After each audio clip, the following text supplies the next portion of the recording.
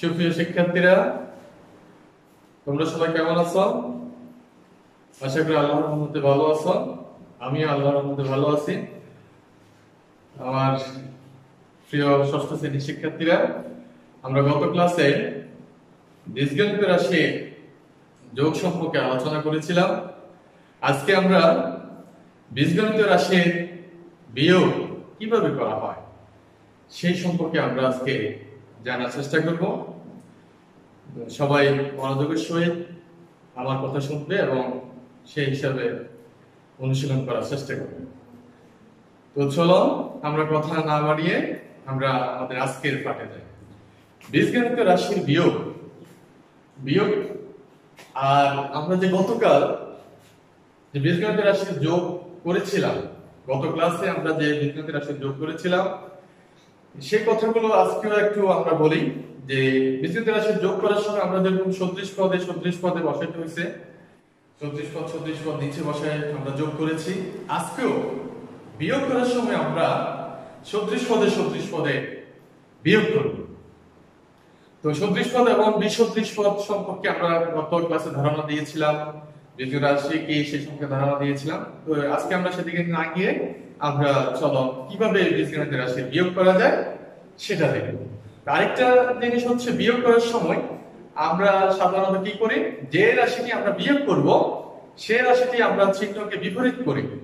এই জিনিসটা আমরা একটু, এই যোগ আর বিয়োগের মধ্যে আমরা একটা এই একটা পার্থক্য যে বীজগণিত রাশি বিয়োগ করার সময় যে রাশিটি বিয়োগ হবে সেই রাশিটির প্রত্যেকটা পদের চিহ্ন বিপরীত করে তারপরে আমরা আমাদের বিয়োগ করব। তো আসো, তাহলে আমরা আমাদের প্রথম প্রশ্নটা দেখো।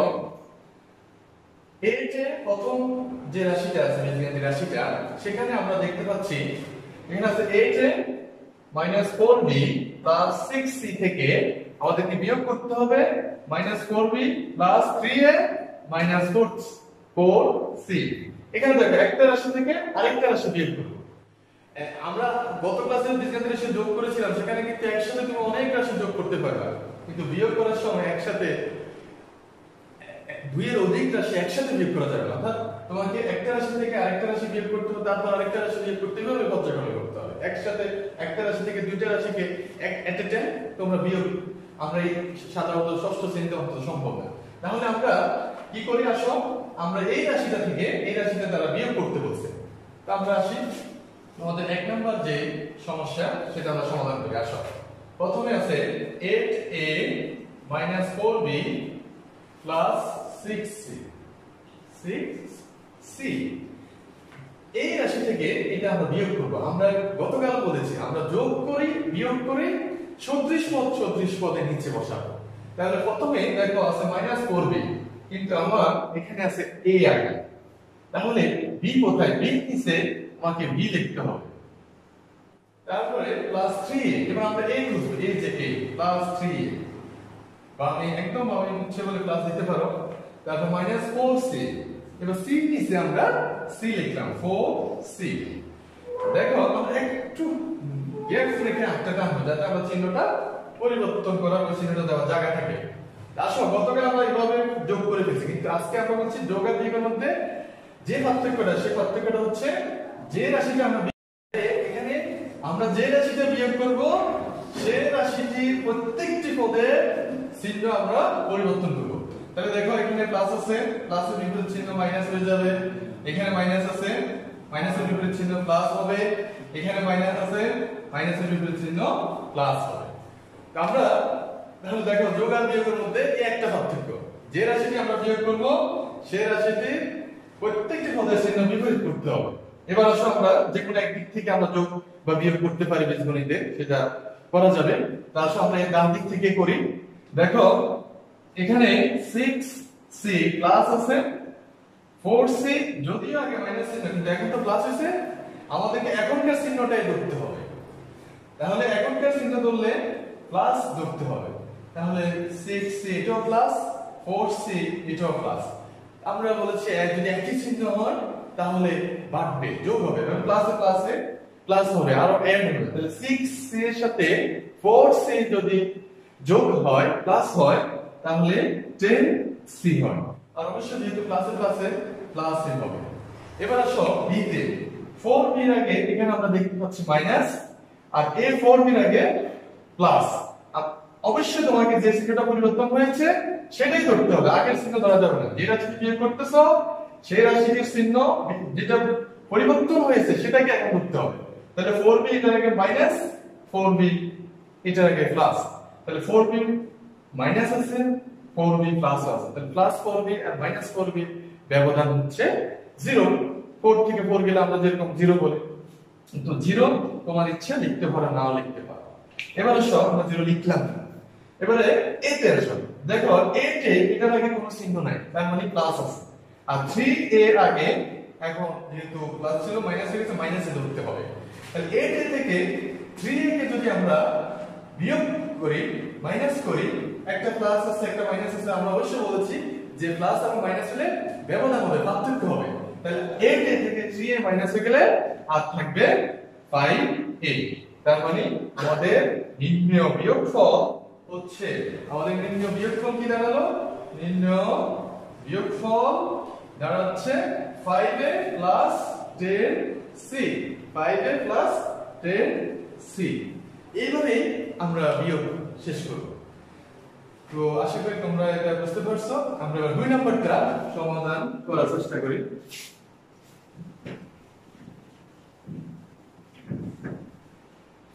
দুই নম্বর প্রশ্নে দেখো, কি দেওয়া আছে? প্রথম যে রাশিটা থেকে বিয়োগ করতে হবে, সেটা আমরা আগে লিখে ফেলব।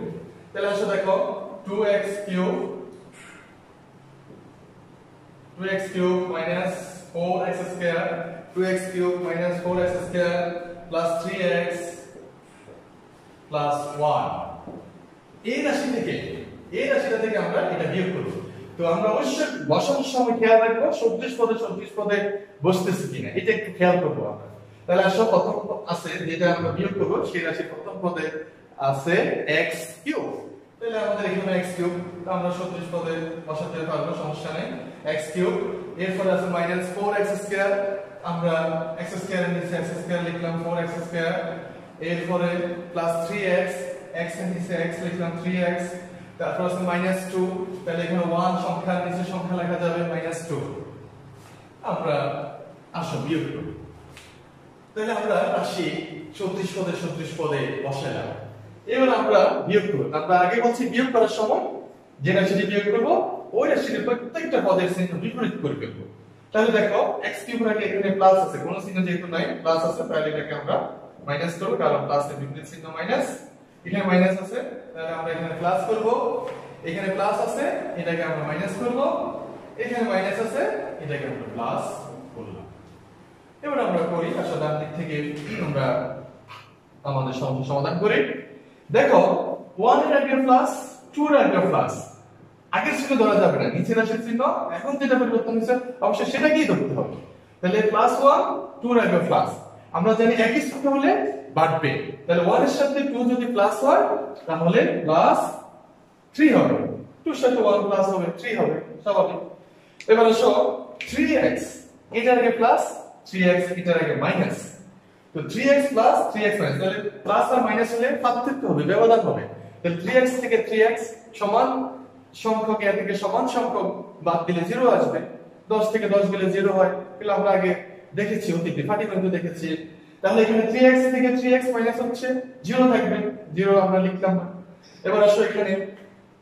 4x স্কয়ার এটাকে মাইনাস আর এর 4x স্কয়ার আগে প্লাস তাহলে দেখো, সংখ্যা সমান 4x square minus 4x square plus 4x square তাহলে 4x square plus 4x square minus অবশ্যই পার্থক্য হবে যেহেতু একটা আগে মাইনাস একটা আগে প্লাস 4x স্কয়ার থেকে 4x স্কয়ার বাদ দিলে 0 থাকবে। আমরা 0 লিখলাম। এবার আসো x কিউব 2x কিউবের আগে কোনো চিহ্ন নাই, তাহলে আমরা এখানে ধরো প্লাস আছে। আর x কিউব এটার আগে তো এখন মাইনাস ধরতে হবে যেহেতু চিহ্ন পরিবর্তন হয়ে মাইনাস হয়েছে। তাহলে 2x কিউব আগে প্লাস x কিউব আগে মাইনাস একটার আগে প্লাস একটার আগে মাইনাস ব্যবধান করব। 2x কিউব থেকে এখানে x কিউবের আগে কোনো সহগ নাই মানে 1x কিউব তাহলে 2x কিউব থেকে 1x কিউব মাইনাস হলে আর থাকবে ওয়ান এক্স কিউব তো ওয়ান আমরা বল- আমরা জানি সহগ ওয়ান এটা না দিলেও হবে, আমরা জানি, কারণ যে কোনো চলকের পাশে, প্রতীকের পাশে সহগ না থাকলে ওয়ান দেওয়া হয়। তাহলে আমরা নির্ণয় বিয়োগফল পেলাম। সুতরাং নির্ণয় বিয়োগফল, সুতরাং নির্ণয় বিয়োগফল কি পেলাম? x কিউব আর প্লাস 3 x কিউব প্লাস 3 এইভাবেই তোমাদেরকে বীজগণিত রাশির, আমরা বীজগণিত রাশির বিয়োগগুলো সমাধান করতে পারি। তো আশা করি তোমরা, তোমাদের বইয়ের আরও যে বিয়োগগুলো আছে সেগুলো অনুশীলন করবে এবং সমা- সমস্যার সমাধান করতে পারবে। আর আমরা পরবর্তী ক্লাসে আরও বীজগণিত রাশির আরও যোগ বিয়োগ নিয়ে হাজির হব। তো সবার ভালো থাকো সুস্থ থাকো সবার সুস্বাস্থ্য কামনা করছি। আল্লাহ হাফেজ আসসালামু আলাইকুম।